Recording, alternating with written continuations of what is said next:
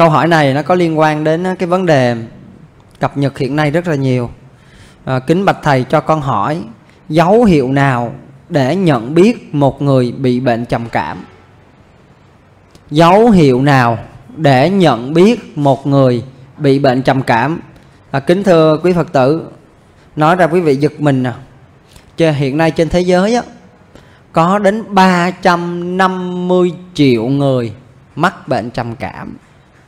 350 triệu người á, mắc bệnh trầm cảm. Và cứ cái bệnh trầm cảm này một năm như vậy đó, có khoảng một triệu người tự tử. Có một triệu người tự tử vì cái căn bệnh trầm cảm. Cái người mà bị trầm cảm nặng, quý vị, là họ thích tự tử. Mình ngạc nhiên tại sao họ lại thích tự tử? Nó có cái lý do của nó, quý vị. Tại vì cái bệnh trầm cảm đó là nó hay có cái cái dấu hiệu là cảm thấy cuộc đời vô vị lắm nó vô vị, nó không còn hứng thú nữa. Cái người bị trầm cảm là trầm uất. Thấy không còn hứng thú gì với cuộc đời và cảm thấy cuộc đời nó vô vị lắm, nó tẻ nhạt lắm. Mình sống ở đây làm cái gì ta?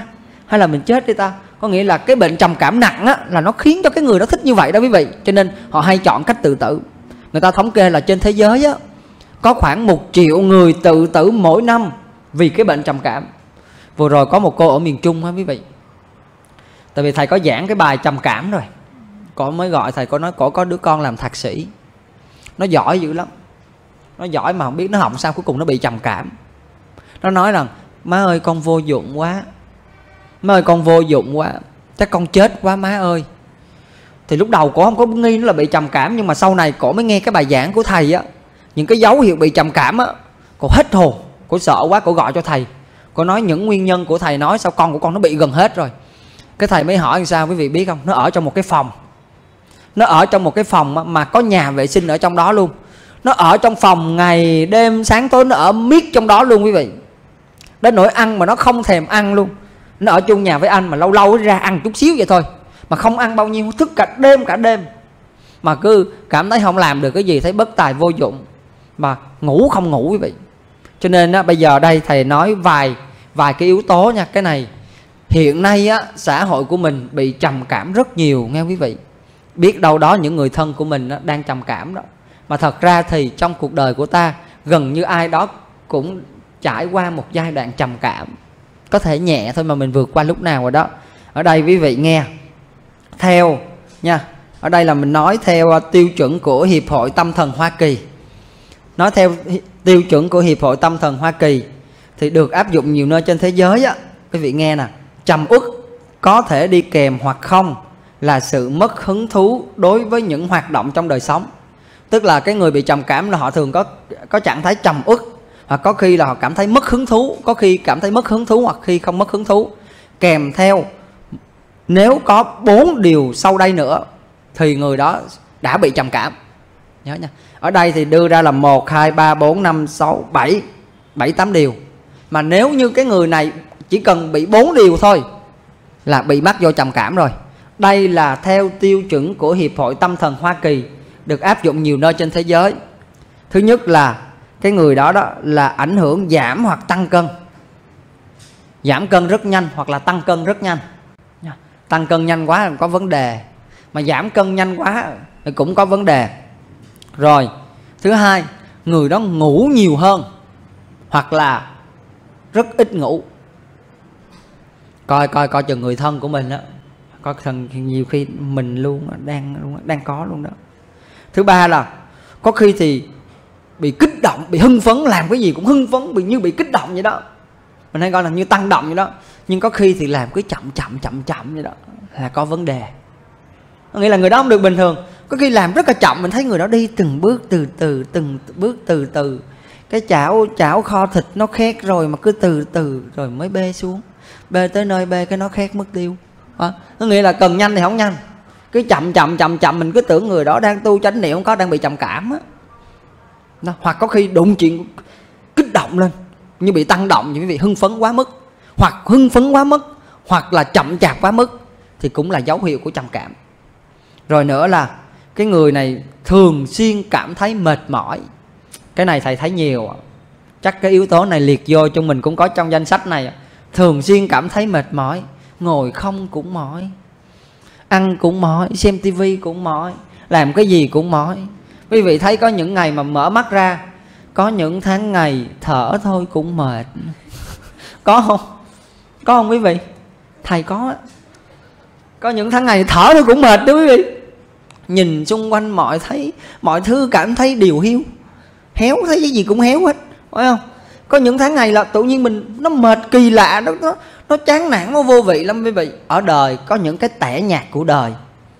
Coi vậy chứ đời tu không có tu á nha tẻ nhạt dữ lắm. Cái này có mấy sư cô thầy nói không biết đúng không? Có những tháng ngày mở mắt ra cảm thấy tẻ nhạt vô vị vô cùng. Phải không? Không muốn làm gì hết. Nghe tiếng chuông phiền não lên. Nghe tiếng chuông đến giờ tụng kinh đó, nghe chuông phiền não lên phơi phới. Phải không? Chứ không phải là nghe chuông mà hạnh phúc đâu quý vị có những tháng ngày nghe chuông là phiền não, nó lên nhất là ba giờ rưỡi tối mà ngày bão nữa. Quý vị ngủ đang ngon lắm, nghe chuông không có hạnh phúc chút nào chứ. Muốn ngủ nữa nhưng mà chuông phải dậy thôi. Có những tháng ngày tẻ nhạt, mệt mỏi lắm. Ở đời có những cái mệt mỏi ở đời. Trong đạo mà không khéo có những cái mệt mỏi trong đạo. Trong đạo coi vậy chứ nó có những cái tẻ nhạt của đạo nha. Cho nên đó thầy nói thiệt chứ. Nói thiệt là ai tu á, thầy giới thiệu tu thầy cũng sợ. Vì thầy biết đừng tu nó khó nó thật vậy xuất gia thì cư sĩ thì quý vị tu được bao nhiêu được nhiêu. Mà đời tu xuất gia mà tu cho chọn được thì nó khó dữ lắm. Mà sợ tu không được chọn vẹn á thì thì uh, tội cho cái người tu đó. Cho nên có nhiều người mà mà, mà tại vì thầy giảng có nhiều người nghe pháp thầy muốn đi tu á thầy phải ngồi thầy phải hỏi kỹ lắm. Lý do gì đi tu mà người thất tình đi tu thì nó thôi làm ơn làm phước ở nhà giùm đi nha lý do chán con làm ăn thất bại đi tu thì nó không ở nhà giùm luôn đi thầy nói lý do chính đáng lắm, đi tu mà phải mạnh thật mạnh luôn á. Thì thì lúc đó hy vọng mới đi tu chứ đừng có buồn, có chán đi tu. Vô chùa bữa nào vui cái về à. Giờ buồn đi tu cái bữa nào vui cái đi về à. Lý do không chính đáng. Mà nói thật quý vị, đường tu nó khó lắm. Nó khó đủ thứ hết. Ở ngoài bỏ hết đi tu chứ vô tu củ khai lan cũng chấp nữa. Của rau muốn cũng chấp nữa. Không không khéo nó vậy đó quý vị. Nó lạ lắm. Mỗi cái á nó có cái, cái mình gọi là có những cái cái duyên của nó khó nói. Cho nên ở đây á thầy à, kính thưa cái phật tử có nếu mà mình thấy thêm có một cái hiện tượng là mệt mỏi dấu hiệu của trầm cảm rồi một cái hiện tượng đó là giảm khả năng tập trung. Không còn nhớ nữa quý vị. Hoặc cái khả năng trí nhớ của mình đó, nó xuống một cách rất nhanh. Nữa là mình có một đầy có một cái tâm lý mình cảm thấy mình mặc cảm vô dụng tức là mình cảm thấy mình vô dụng lắm không có ích gì cho cuộc đời hết. Đây là cái tâm lý rất dễ có của người trầm cảm nha. Ngoài mệt mỏi ra mình thấy mình sao nó không có lợi ích gì hết. Mình thấy mình vô dụng trong cuộc đời nếu mình hiện hiện hữu ở cuộc đời để làm gì? Đây là một trong những lý do mà nặng hơn đó nha là để tự tử là như vậy đó. Thêm một cái lý do nữa là cái người mà có ý muốn tự sát nếu mà nặng á, là cái người trầm cảm thích tự sát. Thêm một cái lý do nho nhỏ vì để ý nè cái người trầm cảm thích một mình lắm thích một thích ở một mình thích ở trong phòng một mình, không có thích nói chuyện với người khác. Thích ở một mình, đóng phòng một mình, mà đặc biệt ở trong phòng, thích ở cái góc góc đó nữa. Chết rồi, vẫn có vấn đề. Thấy nguyên trong phòng có góc tủ, có góc giường, mà thích ở cái góc giường đó rồi xong. Rồi xong luôn rồi đó, thôi xác định luôn. Thì bây giờ chữa cái bệnh trầm cảm khó lắm quý vị. Nha thầy nói lại nha.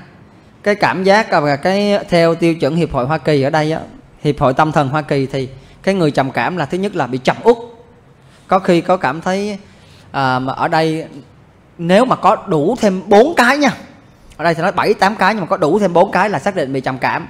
Thứ nhất là tăng cân hoặc giảm cân ngủ nhiều hoặc ngủ ít kích động hoặc chậm chạp mệt mỏi rồi cảm thấy mặc cảm vô dụng rồi cảm thấy muốn tự sát giảm khả năng tập trung.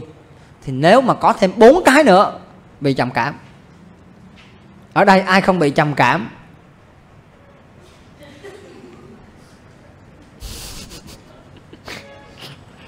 Mà khổ nổi vậy nè quý vị, nó khổ lắm. Cái người trầm cảm nó bị trầm cảm ít chịu lắm. Mình coi coi phải không? Giống như mấy người say á, anh say rồi, tôi đâu có say. Làm gì tôi say tôi say nào? Rất khi bụp xuống hồ. Rồi hết dậy nổi luôn. Mấy ông có say cỡ nào nó ông say, không có say đâu cái người trầm cảm tự nhận trầm cảm khó lắm. Mà cái bệnh trầm cảm rất khó trị, thưa quý phật tử. Tại vì trị là phải trị như vậy. Thứ nhất là phải vô bác sĩ. Về bác sĩ phải uống thuốc. Một là phải trị theo y học, là phải uống thuốc. Phải kết hợp với cái người trầm cảm là họ thích gì? Thích một mình. Cho nên một trong những cách để chữa bệnh trầm cảm lành là gì quý vị biết không? Dẫn họ đi đi xem phim, đi coi ca nhạc, tiếp xúc với mọi người, đi làm những việc thiện nguyện. Với đám đông nó tiếp xúc với nhiều người để họ nói chuyện, để họ tiếp xúc đám đông xem phim hài. Nghĩa là làm sao mà cho họ tiếp xúc đám đông mà tự nhiên nó sẽ cân bằng. Nghĩa là về uống thuốc thì uống thuốc, mà một phần nữa là phải, mình về cái liệu pháp tâm lý là như vậy đó. Cho nên nó khó chuyện là như vậy nha. Đây thầy xin nói đây, nhờ dành cho quý phật tử đây cũng như những phật tử nghe lại cái câu vấn đáp này. Nếu mà thấy mình bị bốn lý do đó, thì nhanh nhanh tranh thủ đi lo chữa trầm cảm đi. Chứ còn không mà khi bệnh trầm cảm nặng rồi là tự nhiên mình thích chết lắm quý vị nha một triệu người trên thế giới tự tử mỗi năm bởi trầm cảm. Trên facebook người ta đăng đầy, cái cô này có đang làm việc sao tự nhiên cô đi nhẹ từ từ ra cửa sổ, mở cửa sổ ra, bạn đồng nghiệp ngồi bên cạnh cứ tưởng là mở cho nó mát. Từ từ trèo lên cửa sổ, bạn này vừa ngạc nhiên xong nhảy xuống mất tiêu rồi. Rồi trầm cảm ra nhảy vô xe, uống thuốc, đủ thứ chuyện rồi trầm cảm rồi giết con, trầm cảm rồi giết vợ, giết chồng.